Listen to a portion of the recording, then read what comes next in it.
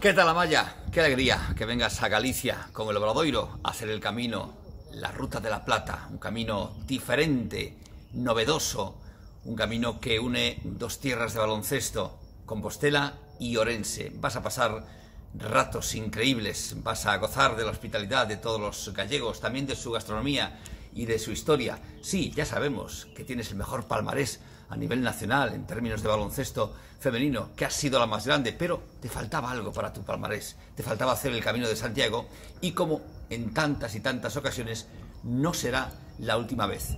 Te esperamos, bienvenida, estamos felices.